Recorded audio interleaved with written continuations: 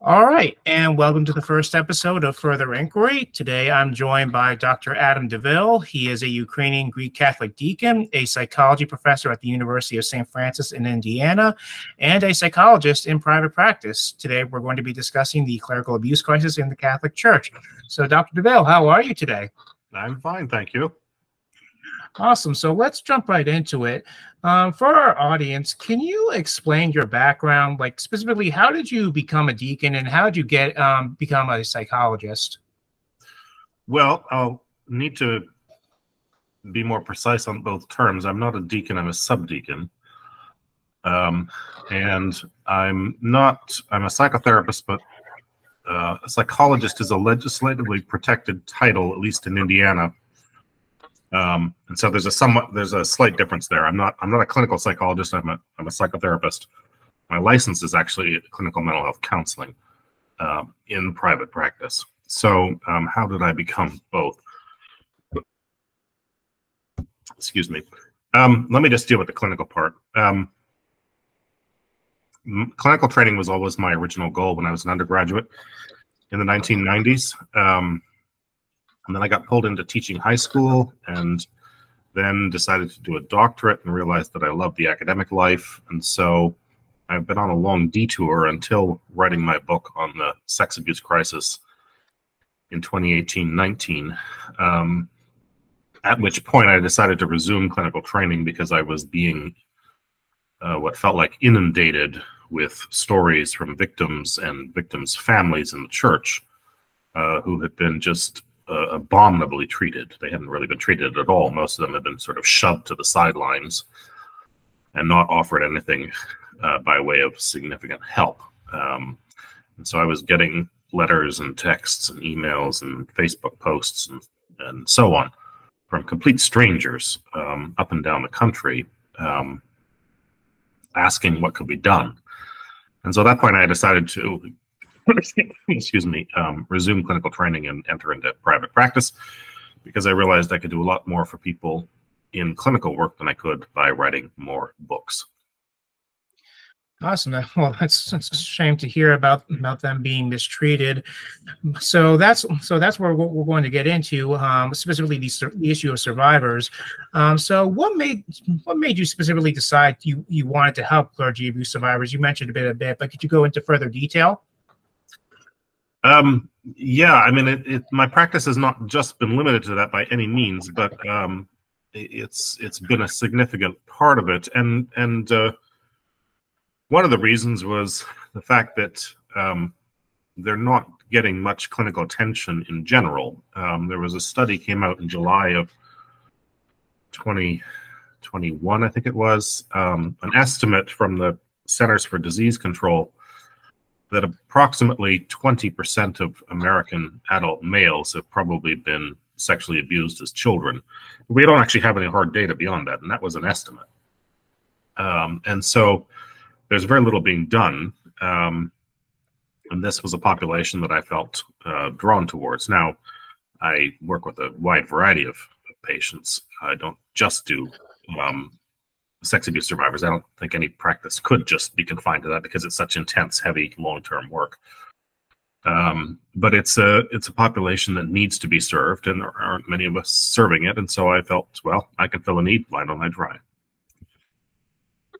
Wow, twenty percent. That's that's a shocking number. But I mean, I'm glad to know that there are people who, such as yourself, who are willing to help to help them.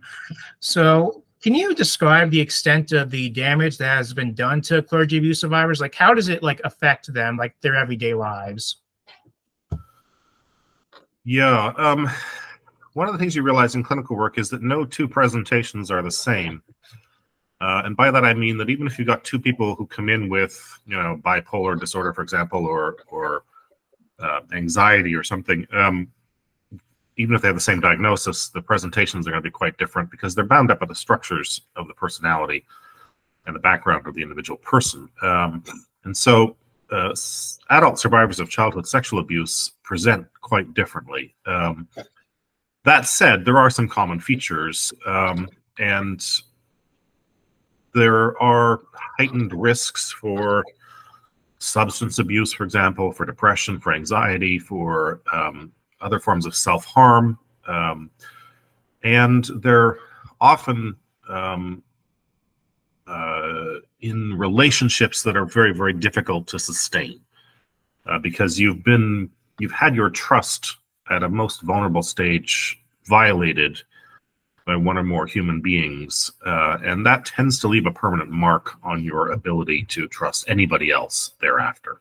including the therapist in the transference. Um, so oftentimes when I see them, um, it's because a marriage is falling apart, or a marriage has fallen apart, um, or they're alienated from uh, partners, spouses, children, uh, and so on. Um, there's often a tremendous amount of uh, anger that just kind of flares up for reasons they can't figure out. Um, so there are some common features, but there are also, um, as I say, uh, a lot of differences. For some people, childhood sex abuse is utterly devastating. Uh, Leonard Shengold was a prominent American psychiatrist in New York who just died a couple years ago. Wrote one of the first books on it in 1991, and he called it soul murder which I think is an apt phrase, uh, particularly for Christians to think about. So it can be absolutely devastating, and you, you can have a very tough time building a life afterwards. But I've also seen some people who have um, managed to be, you know, relatively successful and hold a lot of things together. So you you never know exactly how it's going to show up and what kind of damage it's going to do in advance. Um, then, uh, what does like a treatment of a survivor usually consist of? Like, what do you go through with them, like on in, during a therapy session? Um, there's no again, there's there's more diversity here than I can generalize from. Um, no session is the same, even with the same person. Um, uh, what do you do? It's hard to um, in general, let me let me put it this way: um, Judith Herman is a, a, a, Harvard psychiatrist who wrote one of the early books in 1995, I think it was, on trauma and sexual violence. Um, and she said, and, and I think she's right, that treatment broadly has to consist of sort of three stages. Um, there's the first stage in which the patient has to simply come to feel um, contained and that they are in a safe environment where they'll not be re traumatized. And that might sound quite simple, but if you've had really devastating abuse at a, at a vulnerable developmental stage like childhood, um, even basic trust is often shot. You need to build that with the clinician. Um, the second stage or goal is to be able to tell the story. Um, what happened? Uh, what was that like? What was the experience? Um, and then through that therapeutic relationship, that working alliance in which the, tor- the story is told, you rework it uh, so that it's still there, but it no longer has the power over you that it did. And you're able to experience some measure of emotional freedom from it. And at that point, you enter into kind of the third, the final uh, phase of treatment in which you you begin to rebuild excuse me you begin to rebuild your life and move on with your life and you know uh, for some therapy comes to an end. Now that sounds very simple but it's not um, and it's not the kind of thing that you can just kind of race people through in six sessions. Uh, if if we're looking at serious long-term sexual violence then oftentimes the treatment uh, can take years. And even then um, to be realistic about it i think we have to recognize that we can help you build a life. We can help um, cover over, you know, let healthy scar tissue grow over these wounds, but we're never going to make them go away. Like, what would you say is probably like the longest like um case you've you've ever seen, like in terms of treatment? I suppose without violating um any um, privacy. Yeah, in general, if I'm taking somebody into treatment and I know they're primarily motivated to deal with childhood sexual abuse, um, I don't put a timeline on it, but I expect that we're probably going to be seeing each other for two to five years, um, depending on the frequency. I, I work, if I can, I like to get people in at least twice a week, but most people can't do that nowadays. So once a week for 50 minutes is not a lot of time. People say, well, two out two years in treatment, that's a long time. Not really. I mean, think of how many years you've had, how many decades you've had before you begin to acknowledge this. For me to see you, uh, you know, um, once a week for a couple of years is is not nearly as much as it sounds. Mm. The other method that is quite powerful, um, and I've done this. I just finished one up a, uh, not quite a year ago now. Um, is a group group therapy is often overlooked, but uh, I ran a group therapy for male survivors, adult male survivors, um, and you can often have uh, faster breakthroughs in group than you can in individual treatment, although they usually go hand in hand. So group therapy is is uh, another tool that's really important. Um, so next question: Do most survivors tend to leave the church, and what would be their specific reasons be? Um, I can't really answer that in that um, I have not done any studies on that, and I don't know if we have studies. Um, Stephen Bullivant is a sociologist in London um, who's written a recent book on people leaving the Catholic Church. Um, there's a whole variety of reasons, some of them not as obvious as we might think. But in terms of the survivors, I don't know if we actually have data. Anecdotally, excuse me, anecdotally, I've heard from both survivors and families that some of them actually want to stick around. Um, some of them feel like this is my church and I'm not leaving. Uh, but it's very hard to stay a part of an institution that has both abused you and then ignores you afterwards. But as I say, I don't know of, of data to be able to answer that question with any real um, precision.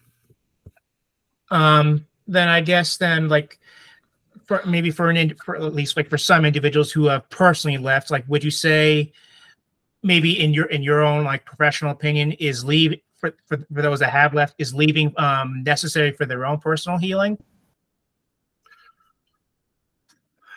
Um, yeah, I suppose some people might say that. Um, it's it it's really hard again to to generalize from you know a small sample.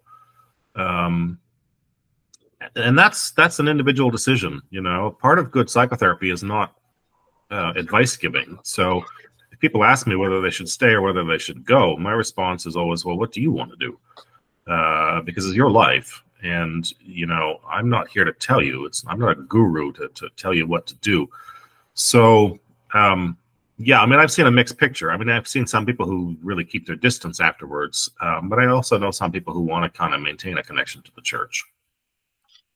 Um for survivors um who have reported abuse like in your own like um in your own um experience like mm. how often have survivors like maybe experienced a mistreatment by by catholics after reporting it well, again, I don't know if we have any widespread data to to answer that. Um, you know, I, I, I hear things from uh, patients, from uh, other people I know, um, from um, friends who've had family members abused, for example. Um, it's really mixed their responses, uh, and some people but on the whole, I guess I, I could say this. Uh, on the whole, putting together what I have heard, which is not a lot, um, the majority of those people have not felt anything other than uh, here, take a check, go get some counseling, get out of my office kind of thing. Like, this is not something we really want to deal with.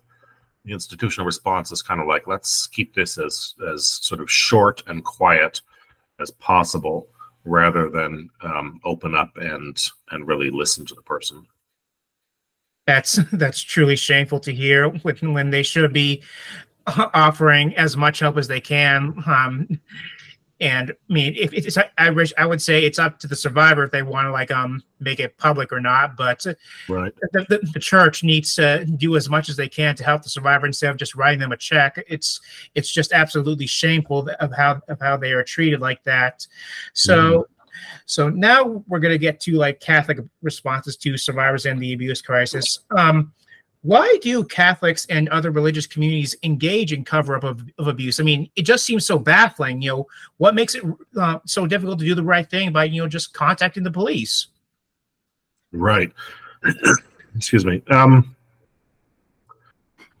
I don't. Sorry. Um, I don't want to let anyone off the hook here. Um, but a bit of context is perhaps important. Um, Shengold's book, which I mentioned earlier, came out in 1991. Um, and you can track in the clinical literature uh, a developing awareness of the massive uh, uh, difficulties created by childhood sex abuse, we don't begin to track that in the literature really until um, the late 1980s and, in fact, into the 1990s. Um, you know, the operative assumption um, for much of the last century was that, you know, stuff happens in childhood, just get over it, move on with it. No need to make a big deal about it. Um, and institutions have very powerful reasons for protecting themselves and watching out for each other. And so, even on those rare occasions when somebody may have gone to the police, um, it did not necessarily result in any sort of legal action. You know, the police chief may have gone over and had a quiet word with the bishop because, you know, the police chief was Irish Catholic, let's say, in Boston, for example. Um, and the bishop said, okay, thanks for letting me know. And, you know, might have had a quiet word with Father so and so in his office. And that was probably about as far as it went. Um, so we didn't know how devastating it was. We didn't take it all that seriously. And we had very powerful reasons for uh, for not letting it get out um, because of the the risk of so-called scandal. Um, and so, again, none of that is to let anybody off the hook, um, because all institutions engage in cover-up, uh, whether it's legal institutions, political, clinical, religious, uh, academic, and so on. Um, they don't want their their professional reputations um, being tarnished. Um, once we started to realize, though, just how devastating childhood sexual abuse can be, um, I think people started to realize we can't just continue to ignore it. Um, that was sort of the first dawning awareness. I think for Catholics, the second piece of that was that um, aren't we supposed to be a body that is committed to the proclamation of the truth? Don't we spend our lives proclaiming the word of God? And doesn't the word of God say that the truth shall set you free? Uh, to be not afraid, right? To bring everything out into the open, um, to to work towards the light and not to hide in the darkness, not to engage in works of deception. Aren't we committed to all this? Doesn't our scripture tell us all this? If so, then why are we hiding and covering up and and and and and so on? So I think those two kind of dawning awarenesses um, have helped slowly and still very incompletely uh, prompt um, Catholics to sort of be more open about this. I, I, certainly hope so. I mean, I can we can only hope that maybe in the future um, that that something will will change, but only time will tell. But I'm not going to be surprised if we get like maybe another news story about like another like massive scandal. It's like that's probably even bigger than say Pennsylvania or God forbid France, but only time will tell. So, next question: um, How should Catholics respond to survivors who have left the church? Like, what would be like the best way to interact with them? Like, like it comes up in a conversation, like the survivor says, "I left the church. I don't like the church," or maybe it, it, if the conversation like turns a bit nasty, like you know, the survivor who understandably you know doesn't um, who understandably ha- has a hatred for the church like you know began hurling insults or something like that how should a catholic respond in that situation? Um well it's again easier to answer how they should not respond. Um responding with any sort of defensiveness um, is not only unhelpful and counterproductive but i think it's actually um, just inappropriate in itself. Um, you know, we we claim to worship one who was, uh, as the scripture puts it, like a lamb led meekly to the slaughter, um, who made no rebuke of his accusers, uh, who endured the worst forms of torture and humiliation and violent death it seems to me that we could learn from that, uh, even just a little bit, uh, in not jumping on people who have left the church and telling them they're wrong or they're going to hell or the church isn't that bad or they need to get over it or all that whole farrago of self justifying rubbish that people often come up with when they feel like they've got to defend the church. You don't need to defend anything. Um, the church has been around for 2,000 years. It doesn't need your um, puffed up efforts. I think the only thing worth doing is listening, um, which is much harder than people realize. Uh, but to listen to people and let them tell their story um, and to not feel the urge either to defend the institution or to fix the problem. Most of us are very uncomfortable when people tell us stories of pain. We want to kind of give them some advice or tell them, here's what's going to make it feel better. Um, whether it's a, an abuse survivor or someone else going through a period of massive grief, what most of us want is simply to be heard um, and not be dismissed, not be defended against, not be told we're wrong, but just simply to be heard. Um, and again, that sounds very simple, but uh, from what I hear from from abuse survivors and their families, that's almost rarely, if ever, being done. Um, if you do that, excuse me, that seems to me more than enough. Hmm.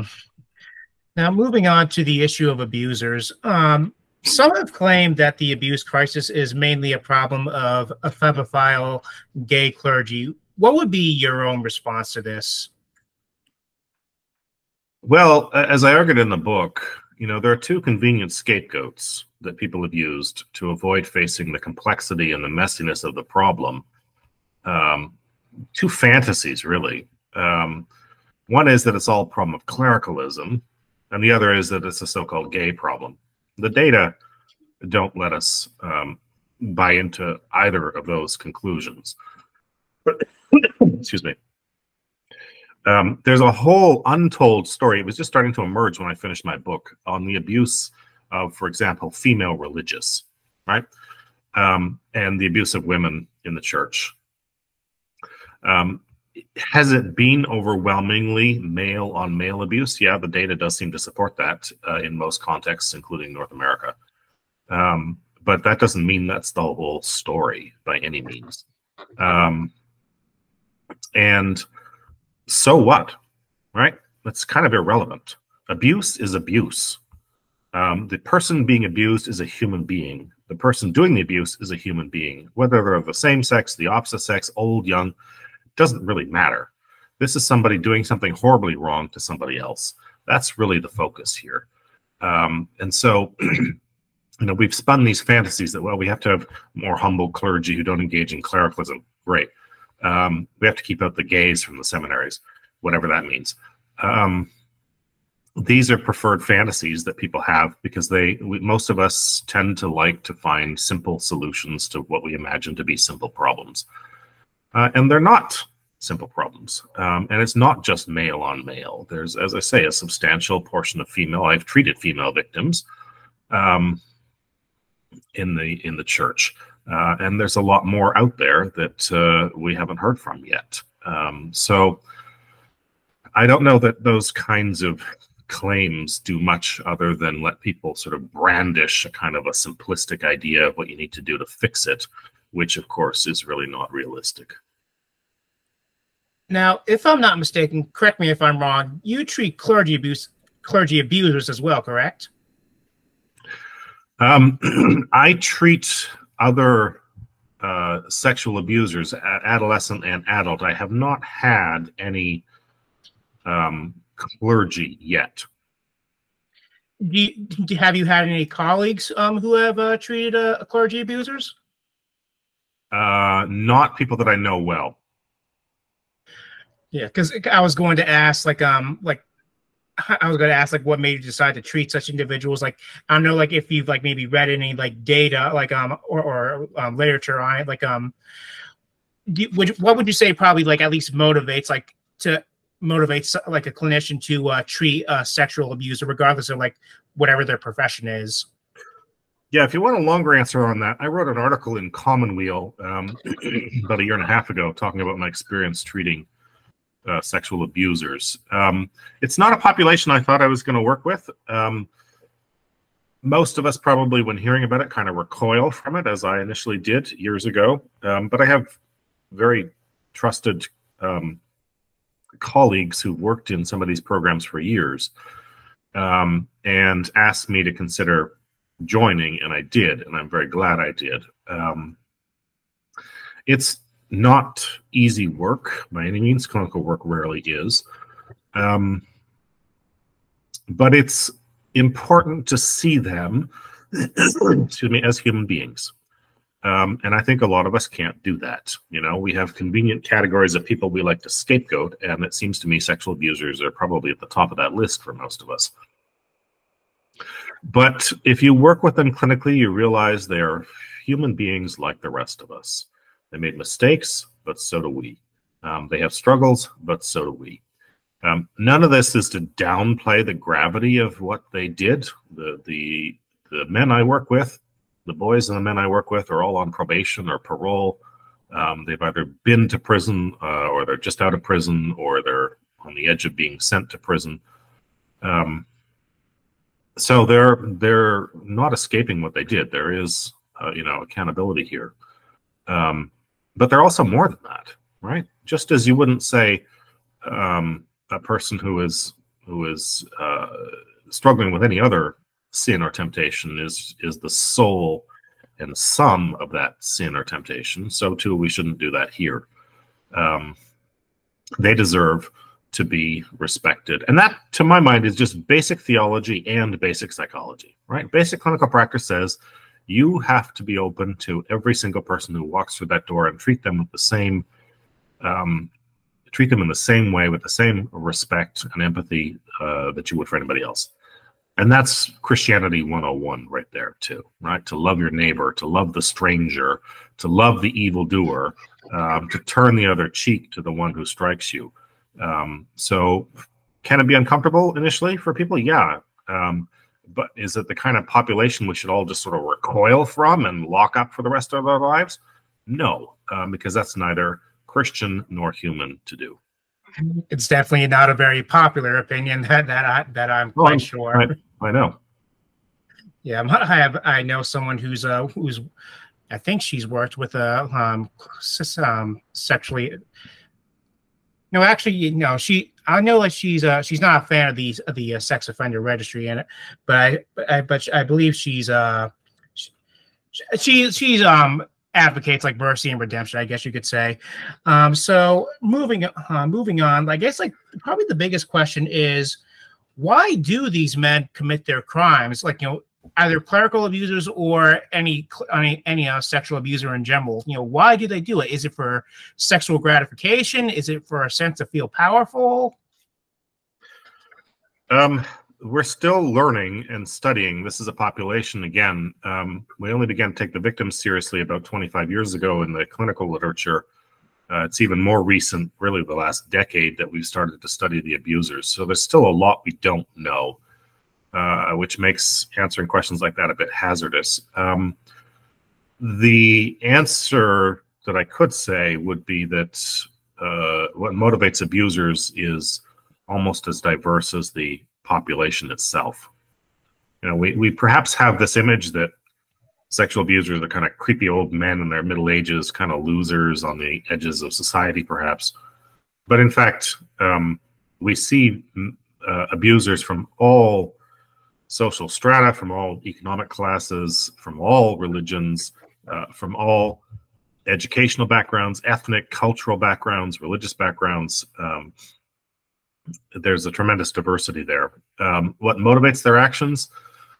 Again, the data is not, um, we don't have as much as, as we would like at this point, but it does seem possible to say that a small percentage of them um, are motivated sort of primarily uh, by sadistic motives. Um, a, a, larger percentage of them are motivated by opportunity. There's a lot of sort of one-time offenders in the literature. You know, it's not like you've been you've been abusing little, little boys for 40 years or something. Um, you know, with a thousand victims. Sometimes it's it's a one-time thing. Um, a, a, lot of it is um, uh, loneliness, um, misguided search for affection, even basic physical touch. Um, so there's a there's a variety of motives, none of which justifies abusing anybody. But uh, as I say, it's hard to um, uh, to to give a definitive answer because people people do it for different reasons. Uh, for some, it is you know a sexual thrill, but uh, that's not uh, the only reason for for all of them. Um, now you talked about like like the the diversity of like treatment for uh for survivors. Would mm. like what would uh like treatment of uh, an abuser consist of? Would it be just as diverse, or maybe is it more a bit uh like straightforward or like mm. generalized? Yeah, in some ways it's it's very similar um, because uh, what we often see with abusers is that they have come themselves from um, often very difficult, sometimes even fairly horrendous childhoods where they were, you know, subjected to abuse themselves or parents were not around or there were, you know, lots of problems with, with drugs and violence and instability in the home, in and out of the foster system. Um, treatment of those who are attracted to, uh, for example, minors um, is very difficult. We don't actually have a lot of well established treatments. Um, and so, what seems to be the emerging trend uh, today is um, trying to figure out new protocols for these treatments because a lot of the protocols that were used in the past are no longer uh, permissible today. So, for example, you know, 30, 40 years ago, um, certain abusers of, of children were often put on what was called chemical castration, given given uh, um, drugs to take that that sharply reduced the production of testosterone. Um, uh, a lot of the past practices of treatment have have been discredited, and so we're we're figuring out what to do today. But in terms of in terms of standard psychotherapy for for someone who's referred to me, um, again, oftentimes it's working through um, a lot of their issues and then building up their own capacity to maintain um, critical insight, you know, that is to mentalize and uh, self control so that they don't uh, reoffend. Now, um, let's see, where was I? Now, moving on, like for clinicians, um, for Catholic clinicians, clinicians, is it difficult recon- reconciling what you are trained in with your faith? No. No. Uh, Erich Fromm, one of the great psychoanalysts and social critics of the last century, he was a friend of Pope John Paul II, for example. Um, Erich Fromm said that uh, both Freud and Jesus have the same goal, right? They're both two Jewish teachers who are committed to the destruction of idolatry and the pursuit of the fr- of the truth by which we are set free. Um, and so, from in my mind, those two things have always been uh, crystal clear. We're here to seek the truth which sets us free, um, and there is no opposition uh, between theology and psychology on that point. Now you've we've talked like this like I'm off, off the air before. Um, as a clinician, what do you find problematic when Catholics tell survivors to quote unquote offer up their suffering. That's horrible language, which nobody should ever use. Um, it's not your position to tell somebody else what to do with their pain. Um, we resort to these gruesome cliches and these these these wretched little phrases: "Offer it up, move on, get over it." Um, you know, she's in a better place. It's for the good. You know, all this kind of stuff. Um, to deal with the sort of the the the mystery of evil in some ways and the fact that we don't have um, clear answers to a lot of our struggles.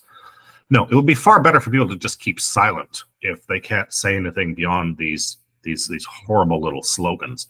Um, it's not up to you, uh, regardless of the person you're dealing with, to tell somebody else how to respond, uh, whether it's to you know the death of a of a spouse or a child uh, to being abused to you know some kind of devastating loss. Um, that stuff does not help, uh, and it's it's incredibly patronizing um, to to be on the receiving end of that. And so I, when people say, "Well, I don't know what to say," I say, "Well, then don't say anything." Right? Uh, it's what what's uh, what a, a, a chaplain I trained with 30 years ago used to call the ministry of presence. You know, my first clinical job was was doing pastoral counseling in a large nursing home with people who were dying. What do you do then? Right? You want to go in there and utter some cliches uh, to them? You want to go in there and try and give them a program of self improvement? No. You sit by the bedside and you hold their hand. If they want to talk, you listen. If they don't want to talk, you don't talk. Um, it's far better for people to just keep silent than to utter some of these these dreadful sayings. Um, now, when it comes to treating um, both survivors and abusers, what, does that put like a, any sort of strain on clinicians? Um, you know, that's an interesting question. It doesn't really, for me, as far as I know. Um, I can't answer that for anybody else. Um, I suppose it could, um, but it, I find it actually mutually enriches. Uh, so that if I have, for example, an abuser who's downplaying what they did, well, wasn't that bad. He didn't look that upset. You know, kind of kind of the rationalizations that some people do, especially early in treatment. I can draw on my work with the victims and say, well, you know, here's how it does affect them. Uh, here's how it did make them feel. Um, here's what they tell me. I mean, I don't break confidentiality, of course, but draw some general lessons from work with with survivors to help the abusers see a little bit um, just how devastating the work is, uh, how devastating their their actions were, and the damage is. Um, so that, yeah, I suppose it could be a, a, a difficult uh, two populations to serve at the same time. For me, the underlying basis, though, is the same, and that is that whatever you come in with, you're still a human being. Um, and that's where we begin um, I don't begin with a label on you. Well, this person's a depressive, this person's a schizophrenic, this person's a child abuser. You come in as, you know, Mary or Pierre or John, Sally, whatever. Um, and and that's where we begin. Going back then to the issue of abusers, um, what are abusers like usually court ordered into therapy, or do some come in willingly, recognizing that they have a problem? Uh, excuse me, both. Um, and in fact, there's a third group uh, that I treat of people who feel like they've got an attraction that might lead them to do something criminal. So they want to come into therapy to try and get a handle on that before they act out. Um, but certainly the, um, the the bulk of the adolescents and adult males that I work with have been court ordered into treatment, which presents its own set of challenges. It's not an easy group to work with when you're forced to come, but uh, you can do good work with them as well. And I talk about that in the Commonweal article. I don't, I don't recall if I if I already asked this one. Like, um, um, what does like clergy uh, treatment of a clergy abuse abuser? Um, sorry, I shouldn't say clergy. What does like um treatment of a of an abuser consist of? Well, it takes us back to the earlier discussion. I think of the threefold process that Judith Herman outlined. Right, to be in a safe place, to tell the story, to rework the story in order to move on with your life. Those are the sort of the broad parameters. Uh, beyond that, I really can't say because every individual treatment is based upon the individual, and no treatment is alike. Um, people sometimes think, well, you know, it's kind of a cookie cutter or assembly line approach. You got this problem, come in, we do this, and away you go. No, uh, clinical work is highly individualized. Uh, and so I can't really say, you know, what it looks like in, in the abstract. Um, now, as for in your as a clinician, do you personally have any hope that the that the clerical abuse crisis might be resolved one day, or do you not see like do you not necessarily necessarily see a light at the end of that tunnel? Um, uh, more than a decade ago, I was doing some research for an article on uh, early canon law uh, on, and what I discovered, you go back, you comb through the collections of canons. I think I went back as far as the fourth century. Um, so every century, in every document I could lay my hands on, there are canons talking about the problems of clerical sex abuse. Um, talking about it in some cases in, in very different language from what we would use today. Um, but what that told me was that this is a problem that's been around from the beginning. Um, and so it's not a problem that, you know, short of the coming of the fullness of the kingdom of God, uh, is ever going to completely go away. So nobody should be naive about this, right? Uh, as long as we are human beings in our fallen, sinful state, um, with various disorder desires, there's always going to be the risk that we do horrible things to ourselves and to each other. That's never going to stop until you know the, the final kingdom. Um, so constant vigilance has to be our practice. That said, um, I think the Catholic Church in the last five to ten years, uh, in some parts of the world, not all, um, has started to wake up, started to take this seriously, started to try to make some changes to make it harder for abuse to be swept under the carpet, easier to be reported, easier to get these guys out of the clergy. Um, so there has been progress. Um, will we ever make it go away? No, that's kind of magical thinking. Uh, it's like saying, well, we're going to make disease go away, right? Or death go away. Yeah, well, when the final kingdom comes, um, you know, if Revelations 21 is to be believed, disease and death and, and evil like sex abuse will go away. But until we achieve that, uh, we always have to be on our guard. Now, like, would you say, in your personal opinion, would you say Catholic clinicians maybe are a bit more critical of the church hierarchy with the way they've handled things regarding the abuse crisis? Well, I don't really interact with a lot of Catholic clinicians. Um, uh, and when we do, we tend to talk about other things than this. Um, so I don't know.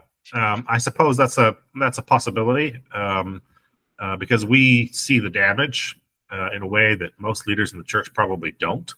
Uh, but I, I can't really say beyond that. Hmm. Now let's see, where were we? Now, like now, now regarding like I'm solving the crisis, like what reforms in your in your view need uh, does the church need to undergo to help essentially like you know mitigate. I don't know, maybe not necessarily put an end, put an end to it, but at least um, get it to the point like where like it's all it's like almost like non-existent. Well, for that you should read my book um, because I got very concrete in there and I laid out proposals at the level of the parish, the level of the diocese, uh, the level of the regions, uh, the level of the countries, and the level of the universal church. Um, now, what can we as the laity or the legs, as you write in your book, um, do to help put an end to help, like you know, like um, solve the crisis. Like some people might say, like you know, just like you know, do the right thing by, by you know by reporting the abuse. But is there mm-hmm. anything more we can do about that? Yeah, I think um, constant vigilance is something for everybody. And so, let's say you report the abuse and nothing happens. Um, you know, you'd be like the like the widow in the gospel uh, who just simply doesn't give up until she gets justice you report the abuse and months go by and nothing happens, you keep pounding on that door, you know, the chancery door or whatever it is, uh, to find out what's going on, right? What have you done? Um, why haven't you done something? Uh, make sure that nobody has the chance to um, brush you off uh, and and fail to act.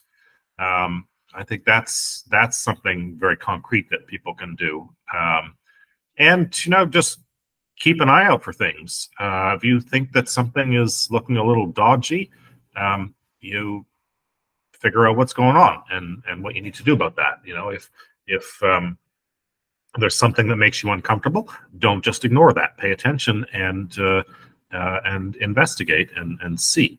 Um, it's you know, Indiana and I think most of the other states in this country have taken the approach that everyone who is a legal adult is what's called a mandated reporter, which means that if I know of a story um, of a child being sexually abused right now, I am obligated under the law to report it to the Department of Child Services.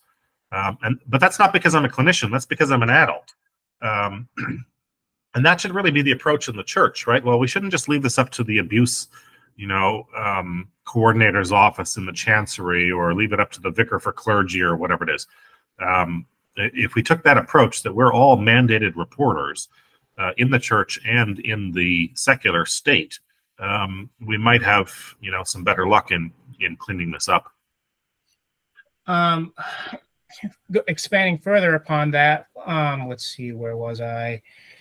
Uh, oh yeah, now I now I remember. Like do you personally know of like any um, cases of, of Catholics, like particularly clergy, um, who did the right thing by contacting the police when someone you know reported um, abuse? Yes, I've seen that um, several times um, uh, in the last five years or so. Um, it does seem to be increasingly uh, accepted in parts of the church that we go to the police. Uh, if this is if this is something that needs criminal investigation, we go.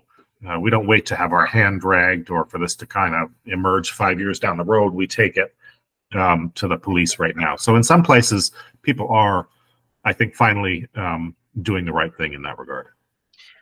Are there any like dioceses um, that would you say are like um, like good models for like um, for handling abuse? Uh, not having studied most of them, I really can't say. Now, um, let's see. Wrapping up here, um, what would you say? Actually, no. Hold on. Where where was I? Do do do. Yeah, I guess we'll just wrap it. Um, so can you tell me, like, um, right now, like, are you working on anything new? Are you working on any uh, books or articles uh, about this? Um, not about this topic in particular. I'm working on a book right now about, um, with the tentative title on being a psychiatric monk, um, which part of it will explore the connection between early Christian monastic practice in Evagrius Ponticus on the one hand and uh, Freudian psychoanalysis on the other. Um, no, I wrote that article in Commonweal on my work with sex abusers. I wrote that entire book in 2019. Um, I think I've said, you know, and there's a slew of articles I wrote for Catholic World Report, the National Catholic Reporter, or the National Catholic Register, um, America, Commonweal, uh, Catholic Herald in England, uh, Diocesan Papers, um, OSV, our Sunday Visitor. You know, so I, I, I think I've more than said my piece over the last decade on this problem. I don't anticipate writing much else about it, but who knows? Could change down the road. Uh, going back, like I actually wanted to go back like to the issue of uh, clergy abusers. Like, um, who would you say like um like are probably some like the uh worst offenders in terms of like um, covering up abuse, like um, whether it's like any individual, like layman, a cler- clergyman, etc. Well, I don't know that we have an Olympics of offenders, um, and so I can't really say that. A lot of the stories have been particularly horrendous. The the one that stands out in my mind, I suppose, probably because it was the first, uh, goes back to 1989. Um, at Mount Cashel Orphanage in St. John's, Newfoundland. Um, I grew up in Canada, um, and that was the first big story that broke. You know, people in this country talk about Boston in 2002 or McCarrick in 2018, uh, but the 1989 story in Canada, um, decades before, uh, really put this on the radar for me. Um, and that was a long-term uh, multi-generational, multi-decade uh, cover-up of, in some cases, really sadistic abuse. You know, there's people that abuse for sexual reasons, and there's people that abuse to cause pain because they enjoy pain. Uh, and to read the report on the Mount Cashel Orphanage, which was run by a Roman Catholic uh, religious order, um, is again probably because it was the first one I came across when I was in my late teens. Um, you know forever seared in my memory but that doesn't mean that it's the worst. Um, i don't know that um, yeah i'll leave it at that. Uh, uh, like what consequences do you personally foresee like um occurring if like the church like you know continues to go down like you know the path that it's currently doing like you know not like you know doing its doing its utmost like you know to to help uh, survivors and also put bring uh, abusers to justice? Um, you know, prognostications about the future are kind of a hazardous business. Um, people have written off the Catholic Church in decades and centuries past, and then it comes roaring back. Um, so I don't know. Um, I think there's going to continue to be a slow decline in some places, partly connected to this, but partly for many other reasons. Um, but we also know that the church is growing in other parts of the world. So um, uh, it's, yeah, I wouldn't hazard a guess as to what the future would hold. Oh, there's another question I wanted to ask about abusers. Like, um, I remember, I know you said like um, they, some of them come from like broken homes. Um, do abusers like have like some devotion to some sort of faith, whether it's Christianity or something else? Yeah, as I said, they come from every background. So you can be Mennonite, Mormon, Buddhist, Muslim, you know, Irish Catholic, um, German. Um, you can have gone to mass every day of your life. You've gone to mass once a year um, there's no there's no uh, single pattern here. Um, uh, people can come from incredibly prosperous, healthy homes um, and abuse, but they can also come from incredibly destructive, basically non-existent homes and not abuse. Um, so background does not dictate uh, future conduct. Um, are there any signs that someone should be aware of like you know that someone could potentially be um, an abuser or is trying to groom a potential victim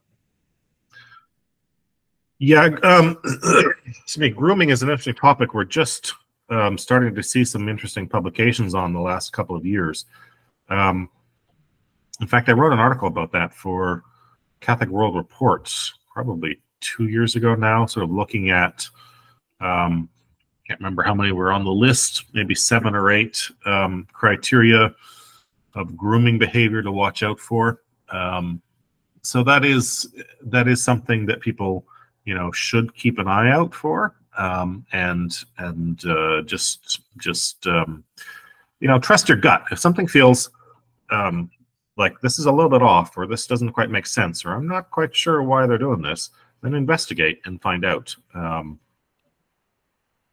um, people have also said, like, you know, that a major part of this issue is uh, clericalism. How would you personally define that issue? Yeah, as I said earlier, that's one of the two convenient scapegoats, uh, and I'm not convinced that that's the problem. That's part of the problem, but it's not the only the only part of the story.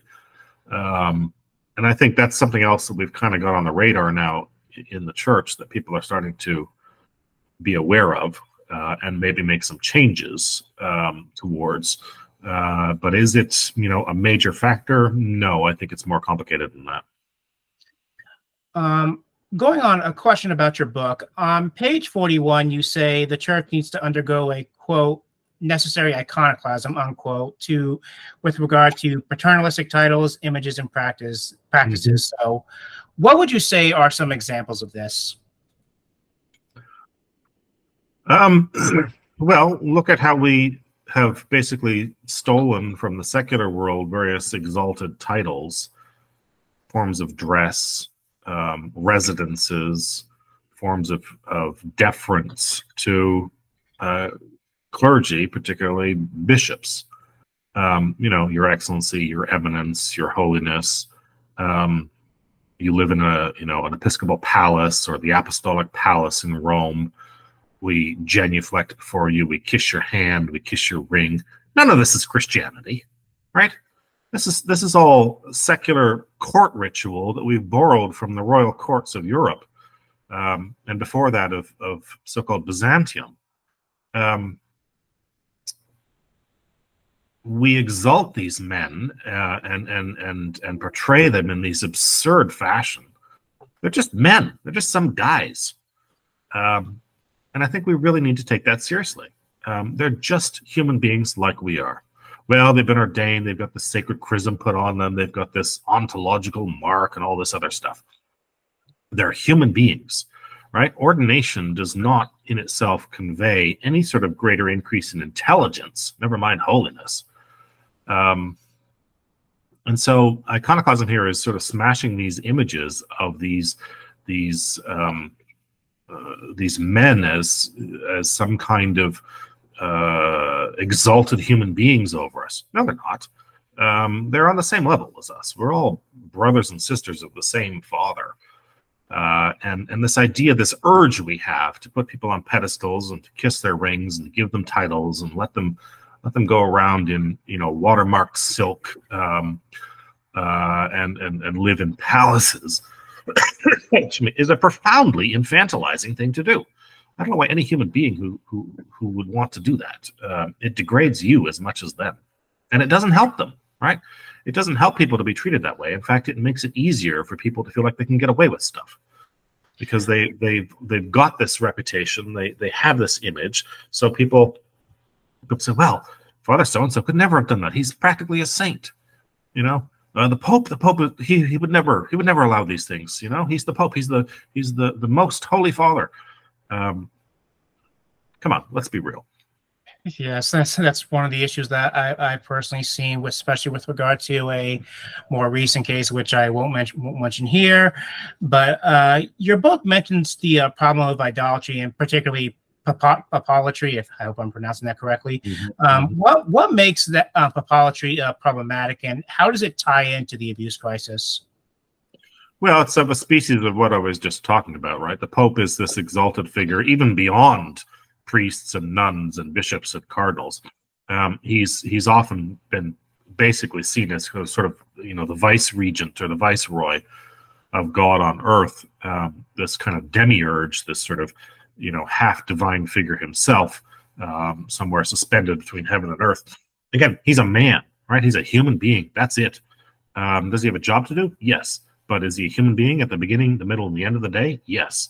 Um, this urge to you know plaster your home with a picture of the pope mention him constantly you know catholics who define themselves as well you know we're followers of the pope um, this is this is and this is a recent thing i mean if you read owen chadwick for example one of the great oxford historians of our time um, or you read john pollard um, or eamon duffy these are all really excellent contemporary historians who've looked at the shift in the papacy from uh, roughly 1870 onward. Um, prior to 1870, most Catholics in the world couldn't even tell you what the, the name of the Pope was. They had no idea who this guy was, and they didn't care. Uh, and the church was probably a lot healthier for that. Today we've got the Pope all over the place. He makes the headlines, you know, on a daily basis. Sometimes um, he's constantly invoked in the church. People have pictures of him in their homes. Every chancery office you go into has got a picture of the Pope up. Catholic schools got pictures of the Pope up. Who cares, right? He's a man doing a job. Uh, he's not the viceroy of God on earth, some kind of oracle, um, even though we've made him into that, you know, instead of, well, the Pope says something. I mean, just watch the headlines, right? Pope makes an offhand comment about anything, uh, it rockets up to the headlines. Why? Right? He's a he's a bishop. Uh, he's the bishop of Rome, um, but he's also a human being. Do we deserve to hang on his every word? No, we don't.